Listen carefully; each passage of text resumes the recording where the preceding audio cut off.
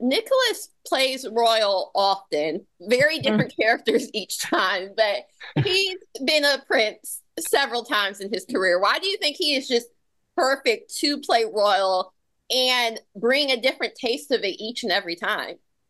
I think it's something to do with his his bearing, isn't it? I think he does come from he's he's his Greek background, maybe a little That's bit of Russian, Russian. Russian Russian aristocracy. aristocracy. The House of Galitzin, I think. Yes. So I think it's yeah, I think it's his kingly manner that Yeah. we, we we buy into. You know, we met a lot of different young men for the part, and he from the minute he came in, he was he was the right casting. Well, you've seen him. He, he- and we needed someone for George who can turn heads in a room, and Nick does that. And also be brilliant at acting. He goes on such a fantastic journey, doesn't he, Yeah. across the show? Yeah.